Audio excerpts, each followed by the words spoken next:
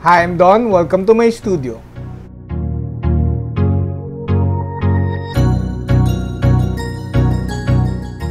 Today we paint a 3D printed Ghamak miniature shipped all the way from Italy.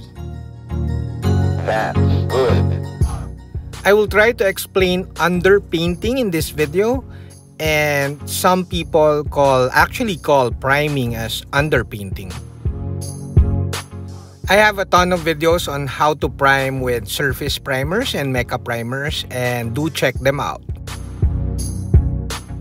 Basically, I thin primers, one part primer and one part thinning sauce and use a 0.4 airbrush at 20-ish PSI. The Infinity airbrush is too good for just a priming airbrush but once you go Infinity, it's hard to go back. So let's talk underpainting. So basically underpainting, usually I call it zenithal priming or zenithal painting.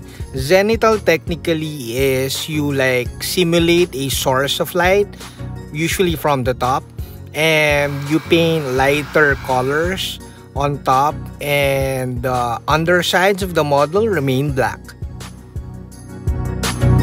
I think underpainting is borrowed from fine arts or painting like painting on paper and canvas because I'm like a watercolor artist since I was 12 years old and we do underpainting especially use watercolors as underpainting for like colored pencils and such. So underpainting is not just like black and white or black primer and then gray and white primer on top of that but it's actually a foundation for the succeeding paints so that you create volume before even before you add the colors. So black and white underpainting or pre-shading in fine scale modeling is basically like your pre-shading. So you do shading, you create volume with just basic colors or basic paints, even black and white. So why most people use, even me, black and white most of the time because it's the safest. It's neutral and you could put different colors on top of black and white. So pre-shading or doing underpainting in black and white is the safest because it won't affect the other colors that you will be putting on top of the model. You could see here though that I went against the usual black and white underpainting because I simply want my video to be revolutionary. so kidding aside, underpainting is a very powerful like step in producing variations in your model painting and I highly recommend you play around with different underpainting. Also, we talked about color or hue contrast in hues and stuff like that. You'll see later why I chose a warm undercoat. We are going for a greenish rotting flesh here with a lot of wounds and stuff like that. So you'll see how we play around with the colors and the hues so that we create a more interesting model in no time. So we mix brown ink and green ink producing an olive greenish paint. Also we added glaze medium because inks are very very saturated and we want to slowly build up the colors. Also the glaze medium will soften the inks. It will like eliminate the harshness of the inks and it won't like produce very harsh or very nasty watermarks. As you can see, we're creating better volume or a model with more depth because we use warm as underpainting and then painted green on top of that. So it gives like a more interesting transition. Actually, even if you paint normal skin, normal flesh tones, if you've noticed, like if you paint flesh tones on top of black primer, you'll tend to produce like gray flesh on the darker sides of the model which is like it's not nice so here since we used German brown on top of the black primer and we painted flesh tones on top of the German brown before we did the glazing of the inks, you could see the transitioning of the greens towards the like very warm red-brown shadow parts.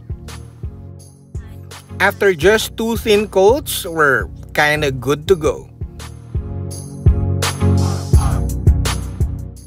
Now we mix a bit of flesh wash or flesh ink and red ink. This will produce a gum color like the color of your gums. So, sorry, it's kind of gross, but that's what we're aiming for. So I said this in my previous like glazing videos, if you add glaze medium to the inks or the paints, you create a filter like paint so it filters really well. Unlike if you add more water or inks, it will be too runny and it tends to like settle around the crevices or details of the model. So if you need to filter or alter the color of the model, you add mediums, you make subtle transitions by doing this, but the paints itself or the inks are not like settling around the details and crevices of the model. So using inks or paints with glaze medium, the key here is the glaze medium, is the most effective or efficient way to glaze or filter your models. At least if you are a Vallejo painter. Because if you do citadels or you have citadel paints, that will be the contrast paints. Of course, you could filter with just washes, but it's not as efficient. And also washes tend to like settle around crevices and details, so really it's not very efficient. Notice I usually use older brushes like for the glazing and the washes and the inks and the mediums, but it's partially wrong if you say that mediums and washes ruins Kolinsky brushes. So it's not the composition of these paints, the inks, glazes, and washes that ruin the brushes or the Kolinsky brushes. It's because they're thinned or over-thinned and thus they run towards the ferrule, the metal part of the brushes, which will ruin the brushes. So the chemical composition of the washes and inks, much more the pigments or I mean the glaze mediums is not actually or not directly ruining the brushes. It's the runniness because they tend to go straight to the ferrule. So I recommend you use like older Kolinsky brushes or even the cheaper like synthetic brushes. But to be honest, much like the Infinity airbrush, once you go Kolinsky, it's hard to go back to synthetic. So now you saw in the video, we're kind of defining the details of the model with black-green. I highly recommend all of the inks, especially the black-green because it's awesome.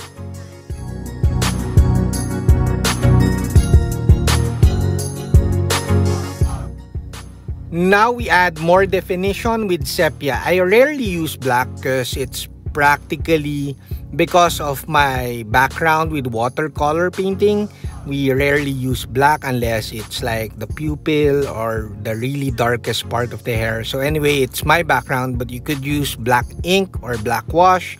And also as much as I want to compare the sepia wash or the sepia ink with agrax shade it's kind of different. The sepia is a bit more yellowish and it's darker so the sepia ink wash is adding more definition or making the details of this model pop more and also it's kind of making the brown parts that are not the skin parts darker so that once we paint the highlights or the base colors it will have more volume later. Hopefully I showed in this video and told you in this video that underpainting is not just black and white. We don't really want to bring out the color wheel here and like flex my fine arts degree, but it's basically using contrast in use or color so that you produce a more interesting model.